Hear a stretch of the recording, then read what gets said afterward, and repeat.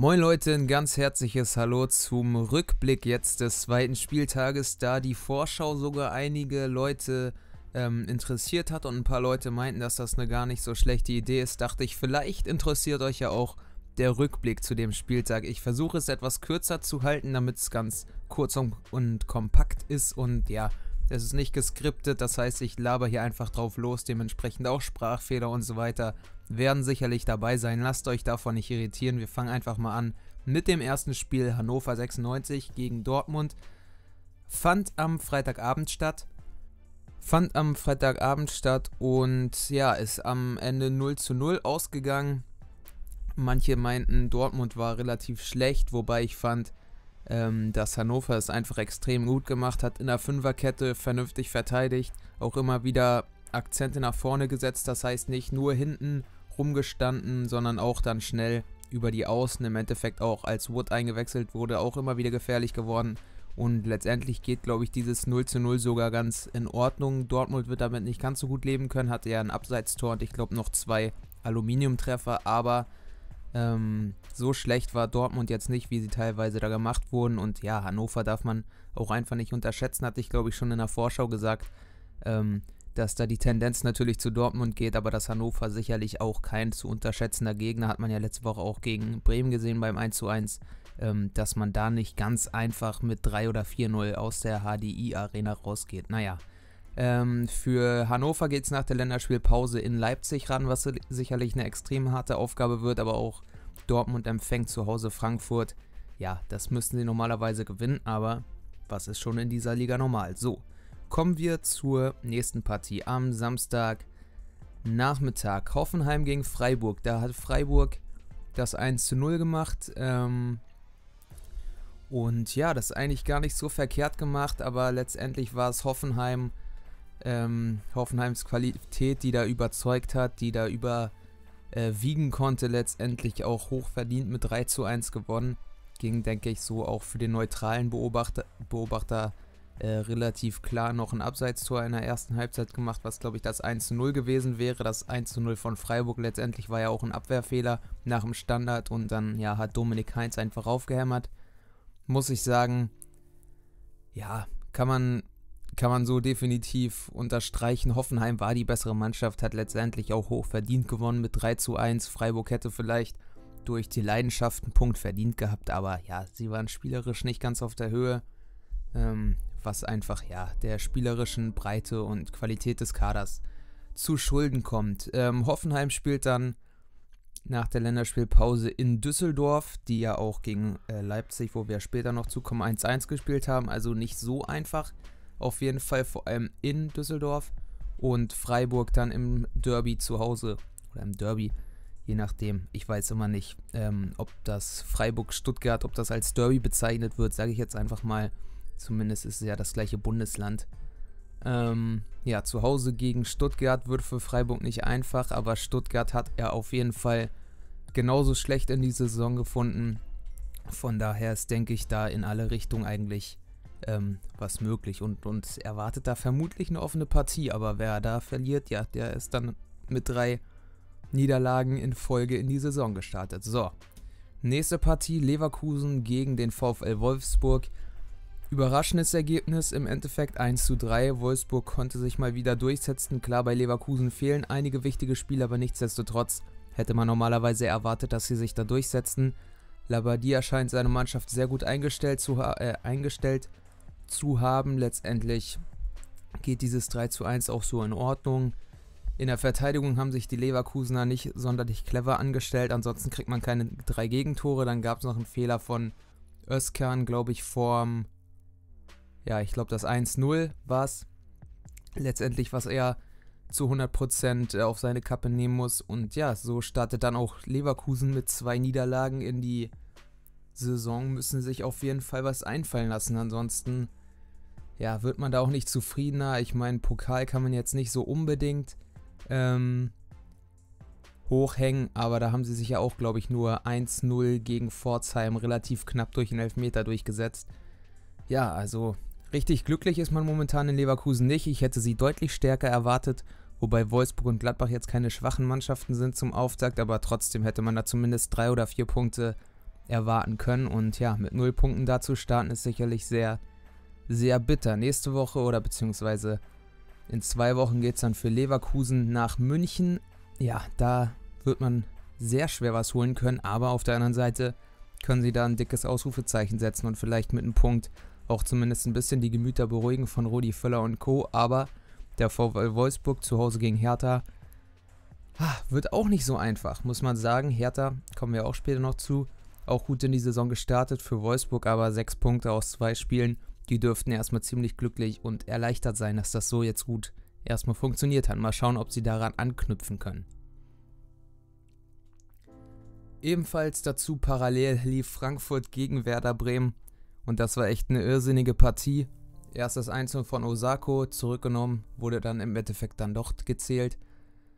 Willems, der sich eine absolut unnötige rote Karte abholt, das war so stumpf. Wie man in der 30. Minute so ausrasten kann, ist für mich unverständlich. Vor allem als Bundesliga-Profi sollte man da ein bisschen mehr äh, Seriosität an den Tag legen. Aber gut, letztendlich trotzdem Frankfurt nochmal zurückgekommen. Ähm, hätten sich vielleicht auch diesen 1 zu 1 äh, Ausgleich oder das 1 zu 1 Endergebnis im Endeffekt erkämpft oder durch das Erkämpfen verdient gehabt, aber gut, äh, dann kriegt man in der 96. noch 11 Meter. Da haben sich dann viele aufgeregt. Ähm, ja, warum gibt es 7 Minuten Nachspielzeit? Ich meine, Pavlenka lag, glaube ich, 5 Minuten am Boden. Dann ist es logisch, dass es auch so viel Nachspielzeit gibt. Ähm, das hätte mich, oder hätte mich gewundert, wenn es nicht so viel gegeben hätte. Ja, wunderbarer Freistoß. Ähm, ich glaube, in der 96. Minute zu gewinnen. Für Bremen extrem geil, für Frankfurt extrem bitter. Und äh, für Frankfurt geht es dann in zwei Wochen nach Dortmund. Das wird auch nicht sonderlich einfach. Ähm, man hat ja schon drei Punkte durch das ähm, Spiel am ersten Spieltag gegen Freiburg im Gepäck. Trotzdem ist man in Dortmund ja nicht in der Pflicht, aber zumindest möchte man sich dann wieder äh, noch oder noch besser präsentieren und vor allem ein bisschen disziplinierter. Was man aber irgendwie das Gefühl hatte in, in den letzten Jahren, es war immer wieder Frankfurt, die mal immer wieder solche kurzen oder kleinen Ausraster hatten, aber ähm, das ist gar nicht negativ gemeint, aber ist halt so und unglaublich unnötig für äh, die Frankfurter, da einen Spieler zu verlieren. Ansonsten mit 11 gegen 11 hätten sie sicherlich noch bessere Chancen gegen Bremen gehabt, ja. Und ähm, die Werderaner dann spielen in zwei Wochen zu Hause gegen Nürnberg, Aufsteiger und ja, kann man gewinnen und sie haben den Anspruch, das zu gewinnen und ist sicherlich auch nicht ähm, im Bereich des Unmöglichen. So, kommen wir zur nächsten Partie. Das ist Augsburg gegen Gladbach, die ebenfalls noch am Samstag um 15.30 Uhr stattfand. Letztendlich ein 1 zu 1, was für Gladbach fast noch schmeichelhaft war. Ähm, Player, der Neuzugang, hat den Ausgleich erzielt, aber Augsburg hatte noch ein paar richtig fette Chancen, um das zu gewinnen muss man auch den Hut ziehen wieder vor den Fuggerstädtern, die jetzt mit vier Punkten in die Saison gestartet sind. Keine zwei leichten Spiele in Düsseldorf, also beim eigentlich euphorisierten Aufsteiger und dann zu Hause gegen Gladbach, also da vier Punkte, Hut ab und das machen die einfach wieder richtig stark. Und Finn Burgerson ist verletzt, also da kann man nichts anderes sagen als Hut ab vor Augsburg, Gladbach, auch mit vier Punkten jetzt reingestartet gegen Leverkusen und in Augsburg. Sagt man auch, ja, ist nicht so einfach und dementsprechend werden die mit den vier Punkten auch leben können. Ich hätte mir ein bisschen mehr noch erhofft von Gladbach, aber gegen Augsburg ähm, ist es eben extrem schwer zu bestehen und deswegen werden sie damit auch gut leben können und zumal ähm, oder zumal jetzt auch Player getroffen hat und sich vielleicht mit Selbstbewusstsein jetzt etwas mehr noch ähm, nach vorne spielen kann. Ähm, für Augsburg geht es dann nach Mainz in zwei Wochen und Gladbach zu Hause gegen Schalke. Das äh, ist ja wieder ein ziemliches Topspiel. Ich glaube, das ist dann noch am Samstag wieder um 18.30 Uhr. Also nach Leverkusen zu Hause, Schalke zu Hause, für Gladbach nicht so einfach. Aber da ist es wichtig, dass sie jetzt schon vier Punkte haben. So. Dann das letzte Samstagnachmittagsspiel Nürnberg gegen Mainz. Mateta hat getroffen ähm, zum 1 zu 0. Ishak dann mit einem wunderbaren ähm, Hammerschuss zum 1 zu 1 ausgeglichen. Nürnberg hatte sogar, glaube ich, noch die Möglichkeit, ähm, zu gewinnen, aber das war eine Partie, die in beide Richtungen hätte fallen können. Letztendlich dieses 1 zu 1 wohl auch für beide okay. Nürnberg hätte sich gerne mit einem Heimsieg zurückgemeldet, aber ja, auch damit werden sie leben können. Mainz ist eben auch ein Gegner, den man nicht unterschätzen darf. Eine absolut abgezockte Erstligatruppe, von daher können sie da froh sein, auf jeden Fall auch das 1 zu 1 noch erzielt zu haben. Das kann auch gerne mal dann mit 0 zu 1 zu Ende gehen und ja, deswegen letztendlich, wer den Ausgleich erzielt, ist ja im Prinzip immer ein bisschen psychologisch im Vorteil. Auch wenn Nürnberg, wie gesagt, das sogar noch hätte gewinnen können. Ähm, für Nürnberg geht es dann ja, nach Bremen in zwei Wochen und Mainz, wie eben gehört, zu Hause gegen Augsburg. Kommen wir dann zum Topspiel des zweiten Spieltages Stuttgart gegen Bayern. Ja, Topspiel war schon im Vorhinein ein bisschen fragwürdig, wie oder inwiefern das ein Topspiel werden kann. Eben Bayern ist gut in Form, hat man ja ähm, oder hat, hat man ja erwarten können, auch wenn es gegen Hoffenheim in der zweiten Halbzeit ein bisschen brenzlig wurde, aber ähm, gegen Frankfurt im Supercup meinten sie ja oder haben sie ja schon gezeigt, was sie eigentlich können und dementsprechend meinte ich auch, ähm, kann man davon ausgehen, dass Bayern das gewinnen wird. Dieses 3 zu 0 ist richtig happig und hätte vielleicht noch höher ausgehen können. Stuttgart hatte zwar ein paar kleinere Nadelstiche, aber letztendlich viel zu harmlos und ja, schade für Stuttgart und ähm, ein bitterer Saisonstart. Da würde ich jetzt noch nicht ähm, die Nägel in den Sack hämmern wollen und sagen, ach, Stuttgart, für dich geht's wieder runter, aber ähm, man hätte sich irgendwie anders zu Hause präsentieren müssen. Letztendlich sehr enttäuschend. Und jetzt ist man in zwei Wochen in Stuttgart, in Stuttgart, nein, in Freiburg schon dazu ja fast verdonnert, die drei Punkte zu holen. Ansonsten mit einem Punkt aus drei Spielen und das DFB-Pokal aus in Runde 1 wäre dann für Taifun Korkut kein guter Einstieg. Bayern spielt zu Hause gegen Leverkusen. Wenn sie die Leistung so an den Tag bringen wie gegen Stuttgart, dann dürfte da auch nicht viel anbrennen. Aber Leverkusen ist ja auch nach dem schlechten Saisonstart dazu verpflichtet, sich ähm, besser zu präsentieren. So, Kommen wir dann zum Sonntagsspiel. Das frühe Sonntagsspiel Leipzig gegen Düsseldorf. Nach 1-0-Führung hat ähm, Düsseldorf noch das 1-1 gekriegt, aber trotzdem werden sie mit dem 1-1 deutlich besser leben können als Leipzig, die ja im Großen und Ganzen enttäuscht haben.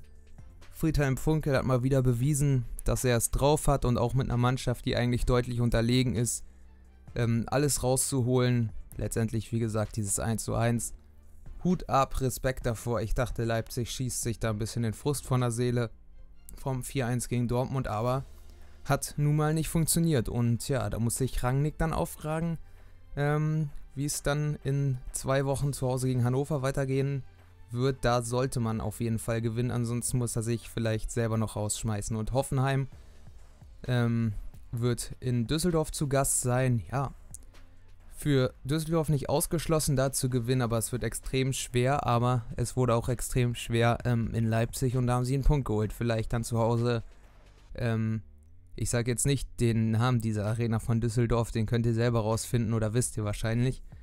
Ähm, der ja ziemlich kurios ist. Aber gut, 1 zu 1 hier bei Leipzig gegen Düsseldorf und im Endeffekt glaube ich auch verdient. Düsseldorf hat es einfach gut gemacht.